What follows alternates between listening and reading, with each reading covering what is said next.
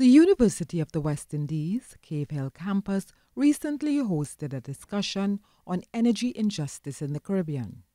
Energy justice is the fair distribution of both the benefits and burdens of energy production and consumption.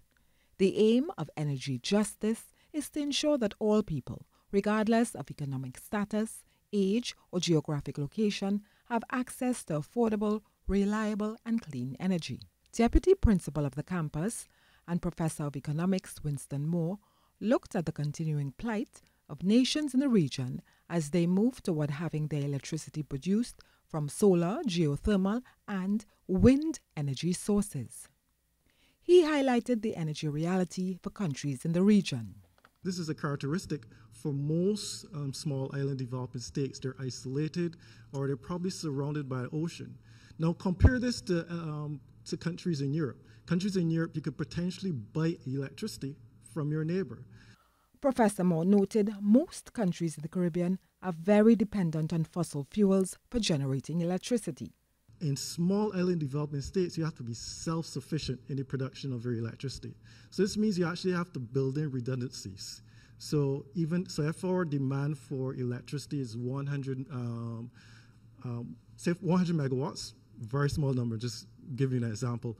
Uh, you therefore have to build in redundancies that maybe double that amount. UWI's deputy principal compared the cost to produce electricity in the region to that of more developed nations. United States, Singapore, they're, they're paying around um, 18 cents, this is in US dollars, uh, 18 cents per kilowatt.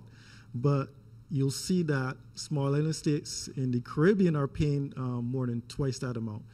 Professor Moore shared some other pertinent statistics. So Barbados, we're paying around 29 cents per kilowatt, and Jamaica around 32 cents per kilowatt uh, for electricity. So not only do we have to uh, invest in more capacity, we're actually paying more in terms of electricity prices. He indicated that there's another significant factor that many small island developing states are dealing with as they move towards sustainable energy sources the transition to renewable energy. So at the moment, we get around 200 to 250 million dollars from in tax revenue from the from taxing fossil fuels. If you transition to all renewable energy, that means you're going to be losing that same amount of money in terms of tax revenues. Professor Moore noted that SIDS tax fossil fuels as a means of financing their budget deficits. I am Terry Ann Brown Campbell, and this is Evolving Energy.